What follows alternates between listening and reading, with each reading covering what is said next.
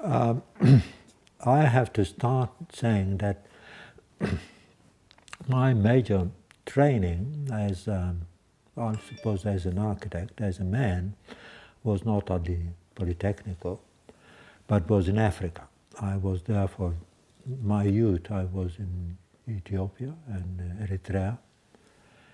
And uh, the teacher there for the secondary school, high school, they were really the beginning of my proper education. Philosophy, mathematics, and so on. That is was my origin. Arriving in uh, in Milano in '47, after the, the war, the Milano was completely destroyed by bombing and was a very sorrow city. Slowly it became, um, with a new era of uh, social or socialist approach, Milano University and, uh, and the Polytechnico had quite a few good teachers, but to you know to be frank, I mean I, that was not my major source of information and planning and inf influence on my way of thinking about architecture. That was coming from mostly from one man that was Pier, no, two of them, Pierluigi Nervi, an engineer, and uh, the idea of architecture became quite clear, and even today I believe that everyone is is totally wrong when they're talking about architecture. Right? Architecture is is the inside is the private place of any building, not the external place of the building. The external place of the building is belonging to urban design. Urban design, landscape design, call it whatever, but it's not really related to the, to the volume of, to the space, to the void that you create in architecture. The Polytechnic was good, yes, was good mostly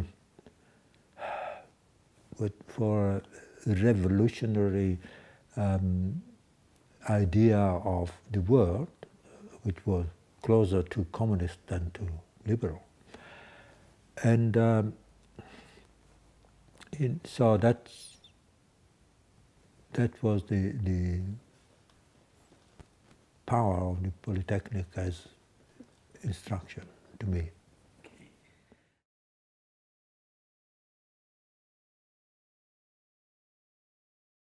I, I had a lot more connection with artists than with architects. Uh, even then, the you know the Polytechnico was um, following the Bauhaus, and I believe that the the Bauhaus was a sort of a almost a fascist institution. That you know is was the modern movement of the Bauhaus was the fact that if you design something, is the function is the most important thing that you can follow. My feeling was not that the function, the actual function, was not was not architecture, was purely technicality. My feeling is that if you don't have a poetry within the architecture, then you don't create architecture. Now, your question was um, my connection. All right. I was involved uh, that the 50, 50, 1952, 53, say a few months before I had my degree, that was in 53, I was with my future wife in um, in France, and I had a, a ten days with Le Corbusier uh, at the at Marseille, unité d'habitation. From there, I was invited by a professor of mine to be part of the Triennale in Milano. That is a, the most known um, exhibition of architecture and art. There I met Lucio Fontana and uh, Tapio Wirkkala, the Finn. That they become, we became quite, quite friends, and um, and that was my connection. I mean, I never liked any other architect, put it that way. And at that time, really the, you know, the, the approach to architecture of the Polytechnic was too close to, to be Bauhaus. You know, function, function, function, function. I mean,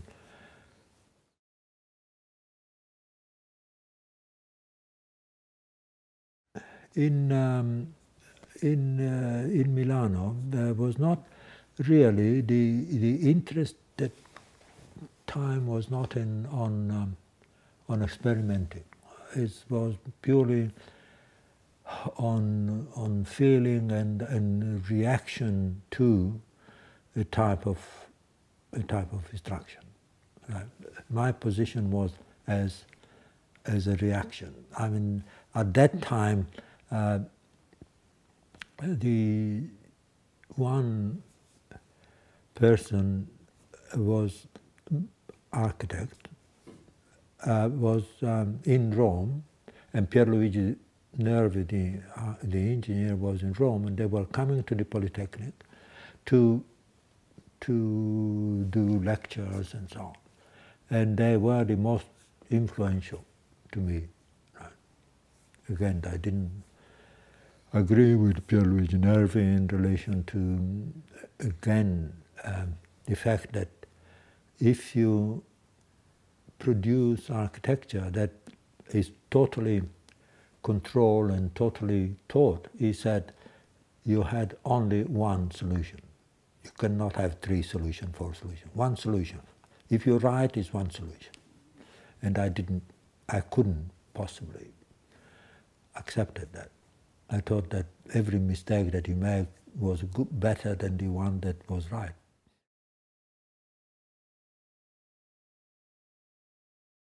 That time, uh, I was invited to be the, a young architect, just a few months after my degree, at the Triennale of Milano, in charge of foreign entry. It's an international exhibition. And therefore I met Le Corbusier I knew before, I met Neutra, I met um, Alvar Aalto uh, and Lucio and uh, so I was there in the middle of the big master of, of architecture. That's it. It was not the Polytechnic, was the was the Triennale. Now, one day I had a call from the director of the Triennale saying that he had a, a call from Australia, from Sir Charles Lloyd Jones, David Jones' boss at that time, and he wanted to organize an exhibition in Sydney. That was 55, with all the, you know, new design produced in Italy. So it was called Italy and David Jones. And um, he asked for an architect in action. In fact, he suggested Gio Ponti being the architect, but the director said, oh, have a younger architect. You know, that's pure luck and he said, I have someone that should do the job. And he mentioned me. Therefore, I they, they came to Milano, they talked with me, they explained what they wanted. I do, I prepared the, the design for the exhibition in Sydney, and we, with my wife, we came to Sydney in, I think it was June or July of 55 for the exhibition to stay for six weeks. Now, I stayed for six months because I wanted to see the other part of Australia. And coming to Canberra at that time, I said, that one is, that one is my place. Not because the future could have been good for building, but because it was, I would say, completely, completely a void, completely no history, nothing right? except magnificent sky at night and, and you know, Brindabella covered with snow and um, social life uh, that everyone knew each other after a few weeks that I stay here. So we decided that most probably that would be, I decided, unfortunately, my wife was not totally convinced, but she accepted it. And we stayed here. So we went back, closed shop in Italy, and come back here.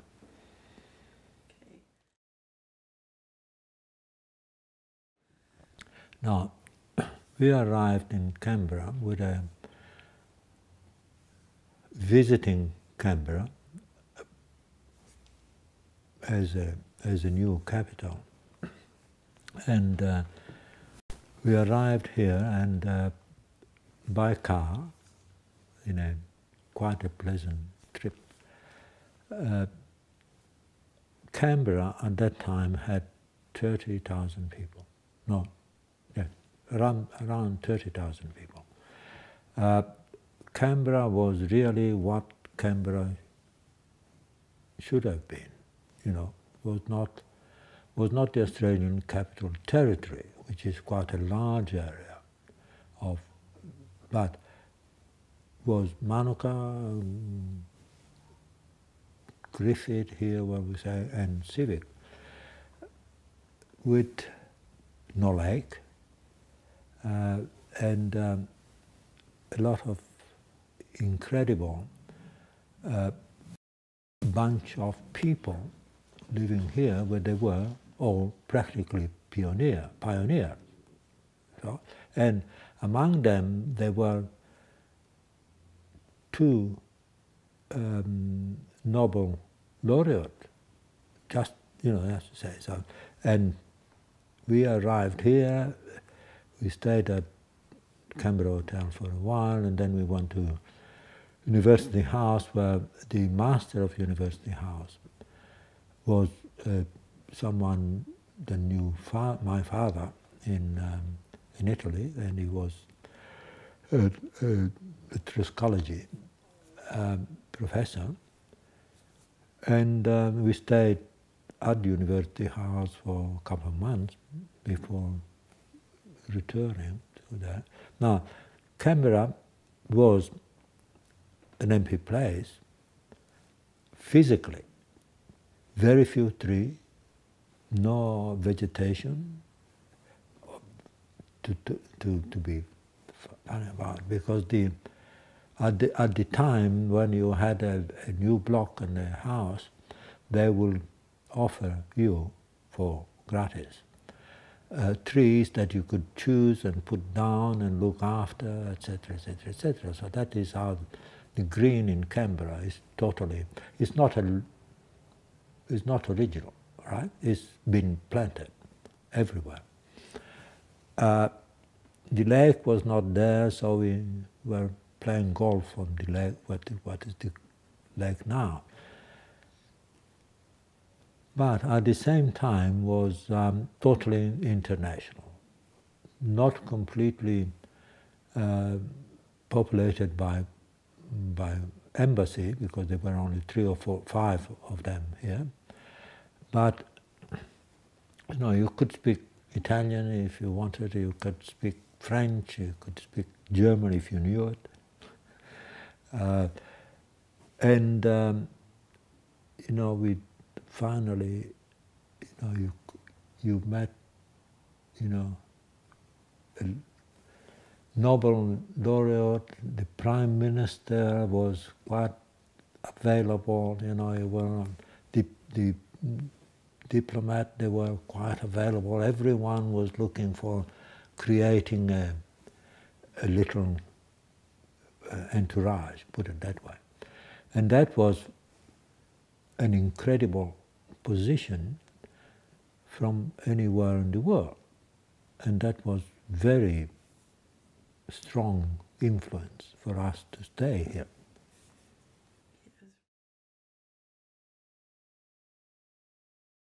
First of all, the say the Italian ambassador, together with a lot of others, they were all in Sydney. The the embassy they were oh, they rented and they had an office in Sydney. Ninety percent of them, ten percent they were in no, eighty percent was in Sydney, were in Sydney, five percent was were in Melbourne, and five percent they were in Canberra. The Italian ambassador asked me in Sydney when was the exhibition there, uh, said I will be forced to go to Melbourne, to Canberra because the Prime Minister, Bob Menzies, want everyone to be there or else. And uh, can you look for a place for the embassy? So really, that was my beginning and said, oh, look, I could be involved with the designing of an embassy. And so I looked for the, for the site, I produced all the things that it needed to do, and I came to Canberra. And, uh, and that are my initial things was in a position that I had the possibility of starting my my business here, my profession here, with the view of a very large and important construction. So I opened a, a small office in um, Civic, and again on that period I met few people, you know, at a certain level of of entrepreneur and pioneer. And so they start asking me, oh, oh, Enrico, what about if you do that and that? And I started my professional life here really quite, quite easily. That the Institute of Architects didn't want to, to accept me as, as an architect. That's a little story there. Um, the, the, I asked them, what can I do to be part of the institute? And they said, oh, that's very simple. You go to university, you do your five years of university, and that's it. I said, oh, you know, that's not good. But uh, the fact that they were protecting only the name of architect and the fact that in, I, I, knew because of the previous question, the Italian embassy and so on, the head of the of the Department of Interior, and I said, "What can I do?"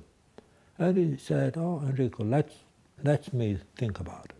And he called me and said, right, I have organized a, a meeting with the chief architect of the department, the planner, the engineer, and uh, the, top position of the institute in Canberra. It was at that time was not was not official.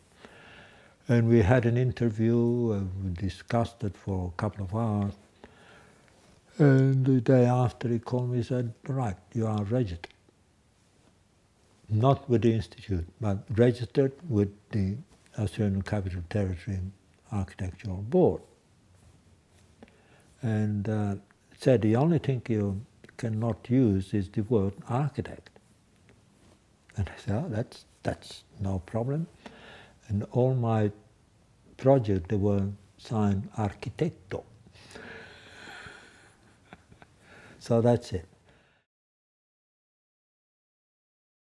Yeah, no, a few years later they asked me to say, oh, look, we are a bit embarrassed. So the fact that you do all that work and so on, and but would you ask us again? And I said, all right. So I asked them again and they registered me. But in Canberra, as a registration of the architect, I am number 14. And from 1 to 13, they are not with us any longer.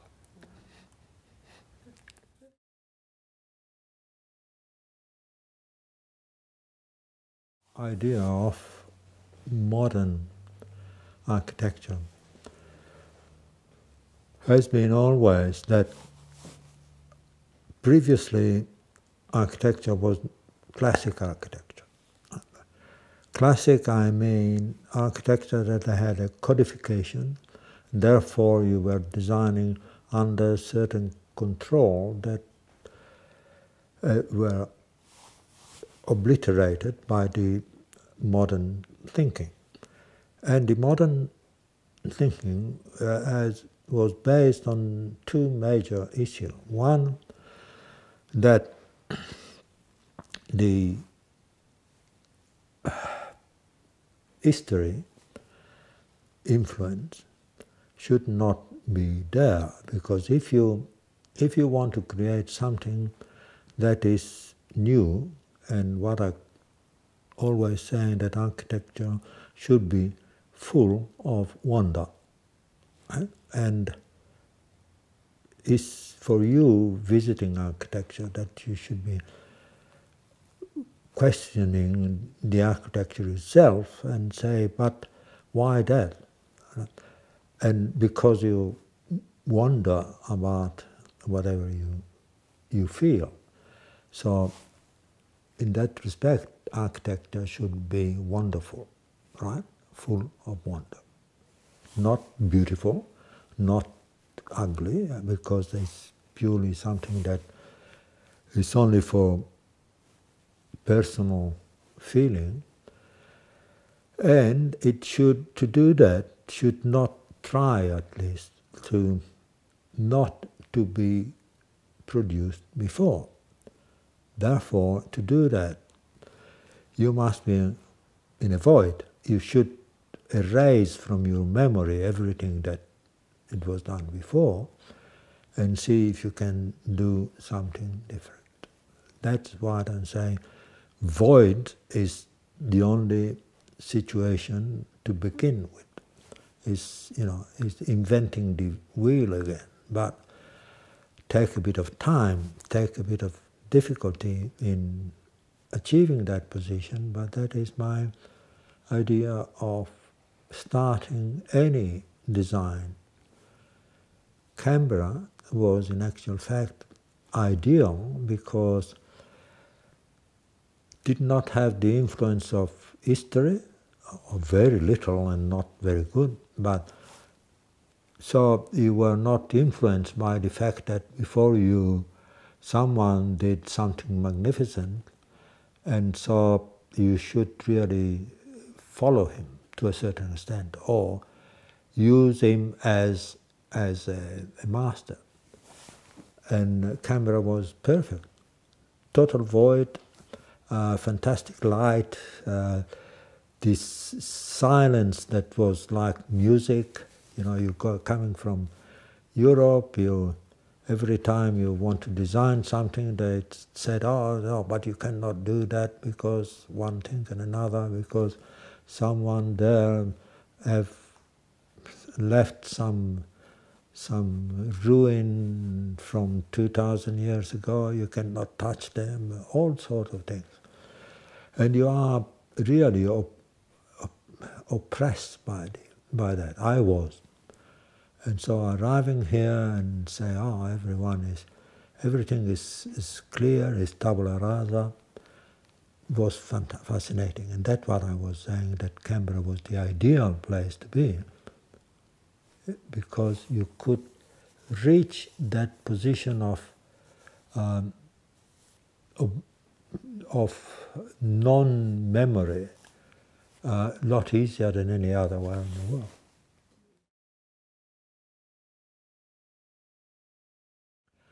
Now, modern modern material there are there are few, and uh, concrete is not one of them either. But uh, generally speaking, with the with the teaching of university or something, it seems that material has become more important than call it shape, volume.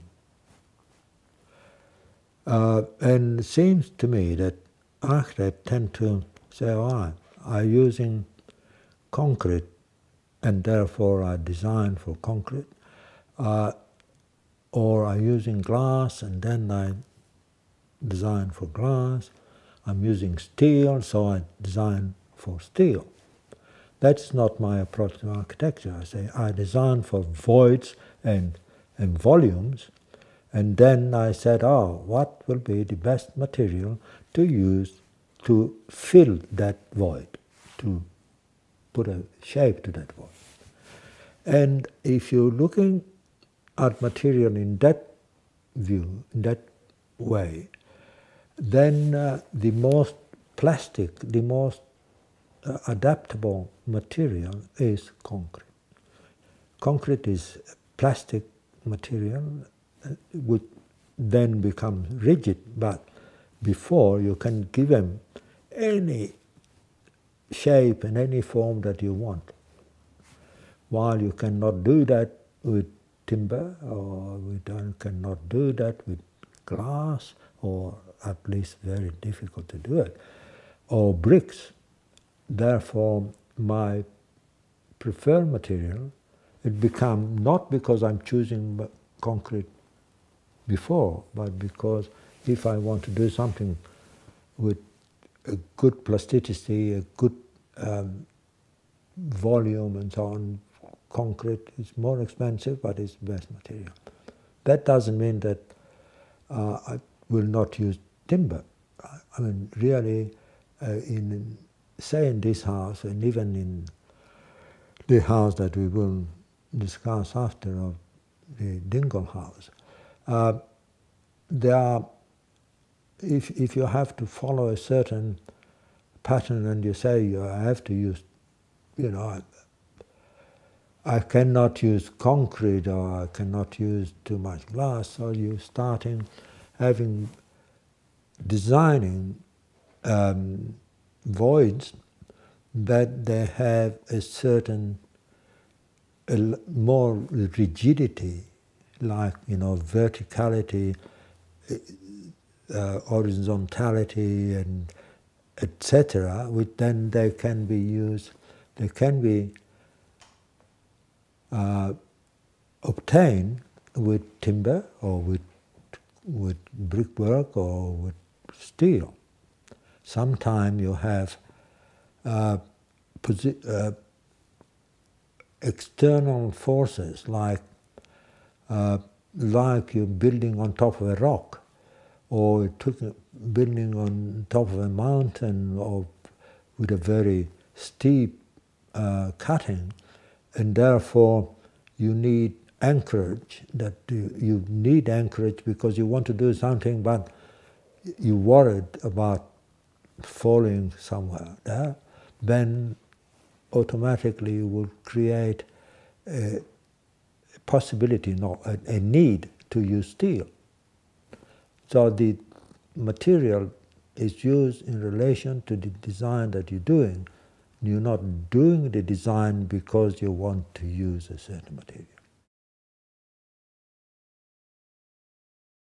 You should imagine for a moment that uh, any house, uh, any building has an interior and an exterior, right? That what I was saying before. The interior is the real architecture. The exterior is public, right? So if it's in in a city cont uh, context, uh, you have urban design. If you are in a landscape, you have the landscape that to a certain extent will dictate certain parameter for your design. Dingle House, uh, first of all, uh, is on a, on a road, it's a cul-de-sac, and is facing the golf course. Right, so imagine that one. All the, the previous few houses on that street, they were facing the street. That is an old fashion of design. Everywhere in Canberra before was following that, and everywhere in the world. You have a street, and the street decide the position of the house. In here, I said, look, you have at the back a park, natural park. Uh, and you have a view and the orientation that is pointing in one direction, that was toward the, toward the golf course. Surely no houses should face the street. So I, first of all, my position of the plan was to turn the 90 degrees, say, against the street. Right.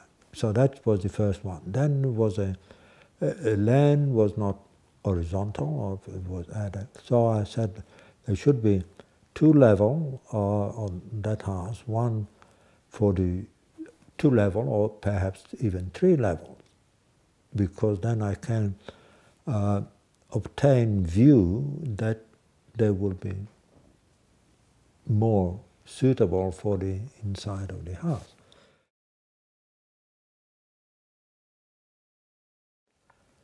Let's talk to clients in general. Everyone, or when I had a client, every client that I had um, was submitted to a certain number of questions um, that I so why you wanting me to design a house for you, right? So I wanted to know was he, did he or she knew my work really and said and what so and if they were saying, oh, you know, I, I asked someone and so on, etc. Before you're making your decision, go and look at a few places. So we start having a, a, a reference between, you know, between what you expect and what I would like you to have.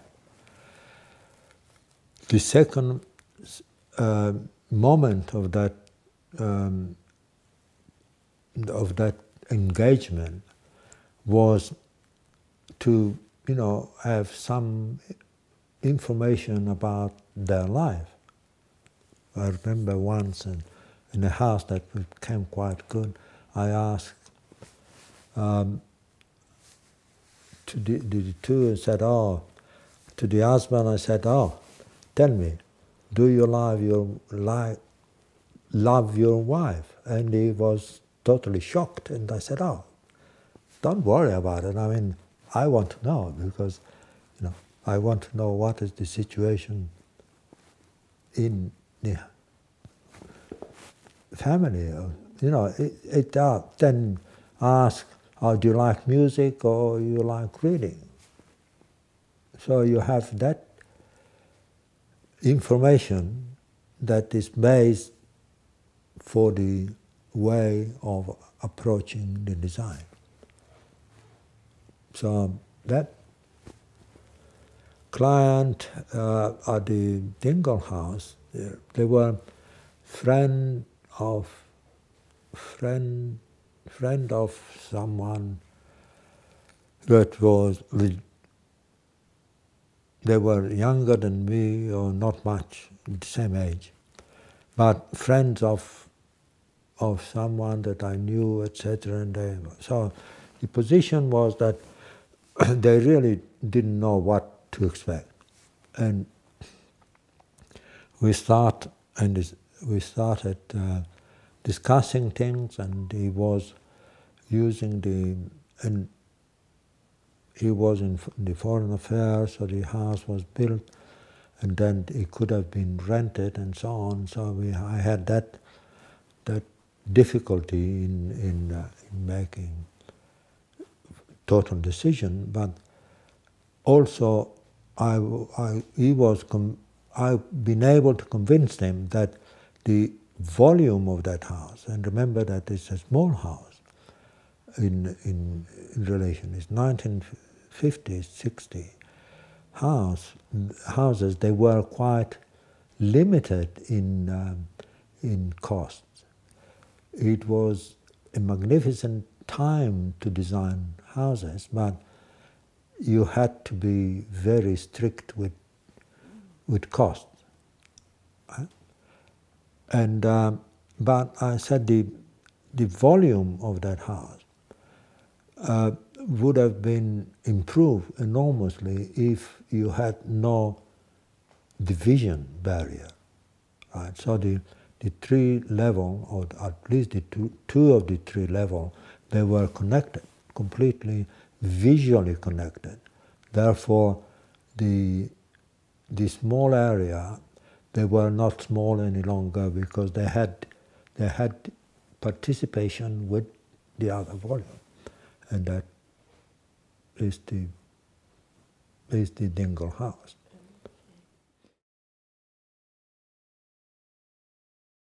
Light. Let's talk about light. Light is the major element on any building. And it's not question of light only, it's question of shade, right? So, do you know, do you, do you know at what speed are we moving at this moment in the universe? No, I don't. Do you? No. Okay, we're moving in the universe at 300,000 kilometer an hour. Right? I mean, it's frightening. But we took 24 hours to go around on the axis, and that is where we pick up our light. Right? Now, it means that this room here is never the same at any time. Never, because you have the sun out that can penetrate in the morning, it may come through at that point and not at the other. When the sun is not there because it's shadows uh, of or clouds. So the if you consider that the light is the most dynamic um, material in any building. Dingle House is not different from the other. The fact more than to, to connect with the light is to see what the shadow of that light will be at midday or at one o'clock in the afternoon and the evening and try to block something that may be detrimental to the volume then uh, or allow or increase the opening in certain areas. So it's not that you want the full light. You can have small opening that they are as good or even better than large opening.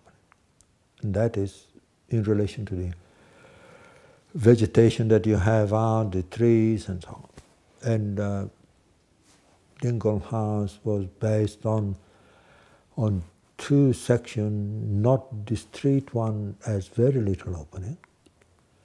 Uh, because really the light from there is not really the good one, and and on toward the park is a lot more opening because really the, the shadow produced are a lot more exciting.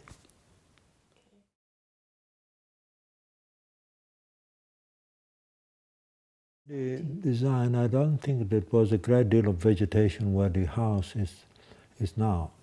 And, uh, but the vegetation of the park obviously was there, not as it is now, but was a lot smaller. Vegetation is something that, um, yeah, so I used that one. But uh, apart from that, you know, the we're talking about vegetation and trees, it was a, a joke um, which was usually said that, you know, you know, medical doctor, when they made a mistake, they buried him or she. The architect, when they make a mistake, they grow a tree in front of it. And that is most probably quite right. So vegetation is part of is part of the landscape, and uh, Canberra is really uh, a landscape city. That the, but the landscape is not a natural, automatic system. It's something that you have to create. You know, the client, the people living, and so on, they create their own their own vegetation. And, and you have to accept it. You cannot stop it. So.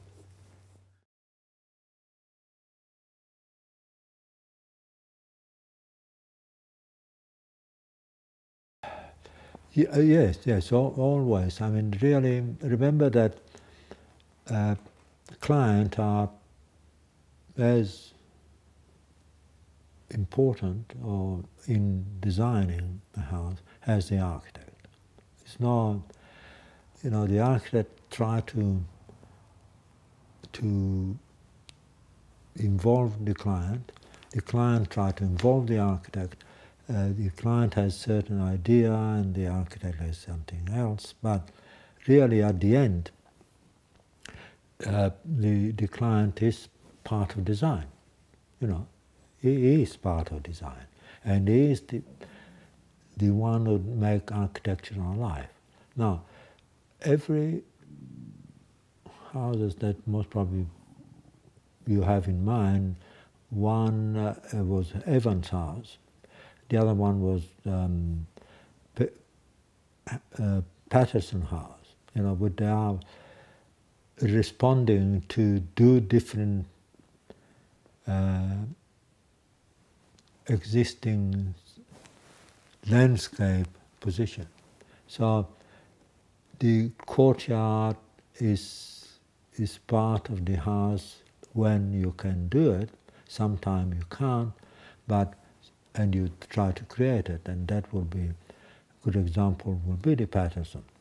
Uh, the fact that if you are on a slope side, and a, a difficult to approach would be would be the Evans house. Of course, Evans, somebody else is there now, but where really you had to build the house at the level that you could have the view, the light, the sun, etc. And so you have to build something that is almost part of the landscape as a support of the house. And that's what's happening. Remember that design is, is not something that uh, that is easy to explain. You know, you you dare and you think something and you say, all right, we do it. Oh, it's, it's crazy. So what? In actual fact, if the client is happy, I'm happy that is how the design is coming. So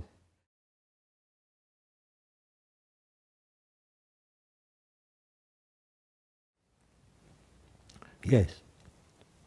Now, if you if you consider that the inside of the house is the real architecture, right?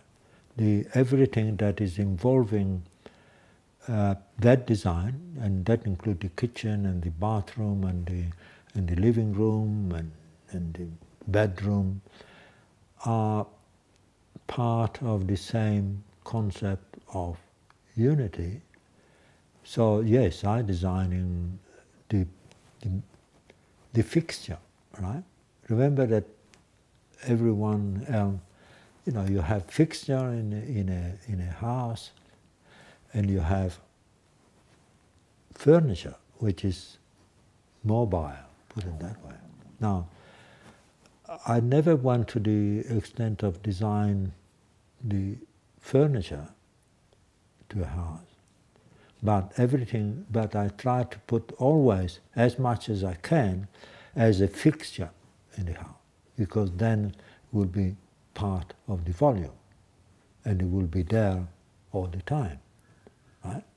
While a table can be moved, something which is fixed cannot, therefore is part become part of permanent volume that will have to receive light and create shade as much as a window.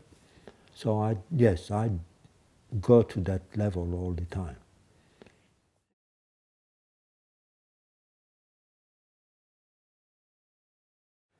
I am a modest man, so I think that my influence on the city is not good enough. Should be more. But uh, no, I, you know, every time you design something, remember that the major work came from the National Capital Authority, the National Capital Development Commission, uh, uh, is uh, is important to me. I hoped really, and I'm not joking now, that my influence could have been a bit stronger in some point of Canberra, and really that will be urban design. Uh, the fact that my major buildings are not on an urban situation has reduced to a certain extent the impact.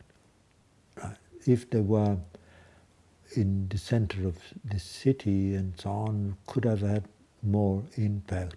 There are few, but then they really had. Uh, it's um, no, it's quite quite clear that the influence and the look when you are young and you are an architect and you know like John Matteo and and you start with enormous desire of, of changing the world. And then slowly you realize that the world is going in a different direction than what you would have liked. Uh, it's taking a lot of time to accept it, right? So you are always happy for what you achieved and very unhappy of what it could have been achieved.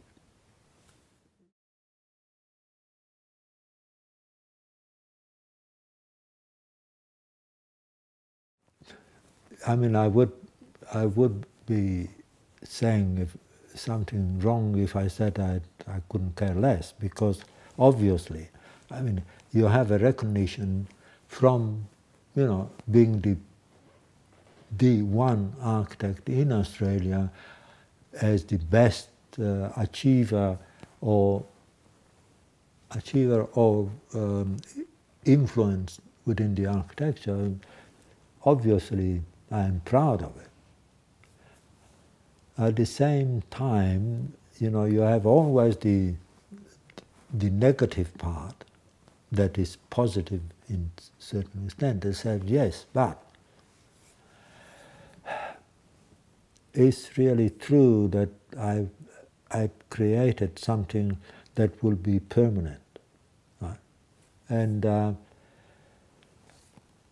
and really is purely a pleasure or honor that you have and you're happy about it, but the actual value in relation of dreams is neither one is one or another. I mean, you know, you have your own dreams, and your dreams are not not not getting fruition. You know, I dream about Canberra in a certain way, but government and, and department and architects, they all seem to look to, you know, to, to produce some return of money instead of looking at the big picture. So that is a bit looking back at the Dingle house, I'm quite happy. I mean, that house is still, is still functioning and, and being appreciated by the, by the user, which are not the original client, but by the user. Uh, and, uh, and that is what makes me very happy.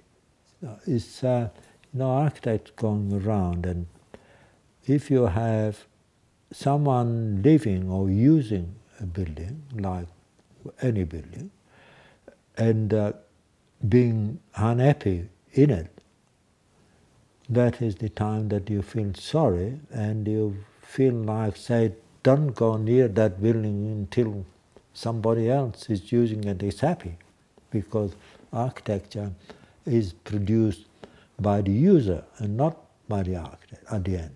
You know, uh, an unhappy person in one of my building make my building unhappy, right? So um, that is how I'm looking at Dingle House is good because I hope she's still as happy as before, you know, husband died of the Dingle House. So really it's a situation where before they were too happy in that house. Now I'm not so sure that, uh, I hope she's still happy, but, you know, in a totally different situation. So I hope the house will help her bypass that moment of despair when a loved one dies. I mean, mostly something that you live together for large part of your life.